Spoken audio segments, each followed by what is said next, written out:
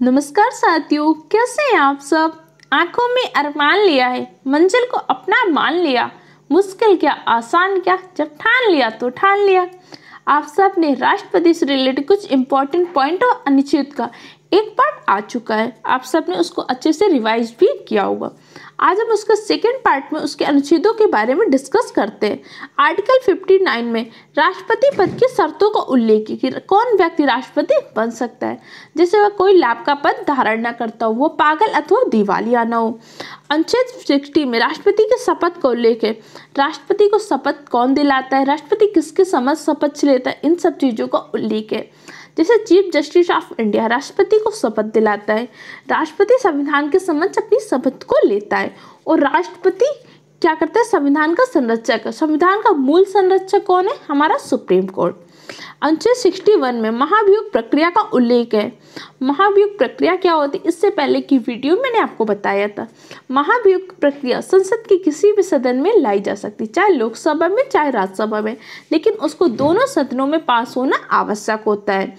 और महाभियोग प्रक्रिया लाने से पूर्व, चौदह दिन पूर्व राष्ट्रपति को इसकी सूचना अवश्य देनी होती है। आर्टिकल 62 में राष्ट्रपति के स्थान पर नियुक्त व्यक्ति की पदाविधि।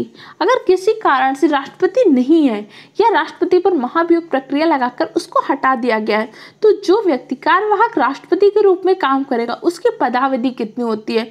तो कार्यवाहक राष्ट्रपति के रूप में अधिकतम छः माह तक काम कर सकता है। छह माह के अंदर नए राष्ट्रपति का चुनाव कराया जाना आवश्यक होता है।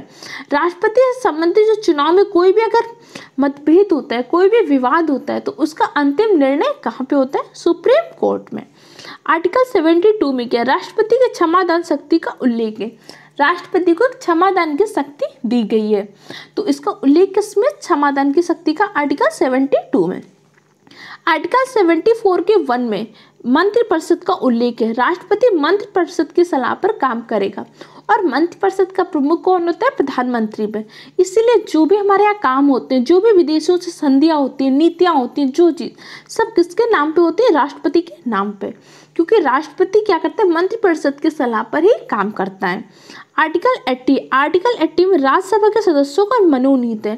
राज्यसभा में क्या होता है? बारह जो सदस्य होते हैं, बारह सदस्यों को मनोनयन कौन करता है? राष्ट्रपति। करता है। इसका उल्लेख है आर्टिकल एट्टी में। तो सारे पॉइंट को नोट कर लीजिए और इसका एक वीडियो और आएगा। तो अगर आपने पहले वाला नहीं देखा तो उसको भी देख लीजिए और दूसरे वीडियो को भी अच्छे से देख लीजिए। नोट्स बनाइए, पढ़ाई करते रहिए।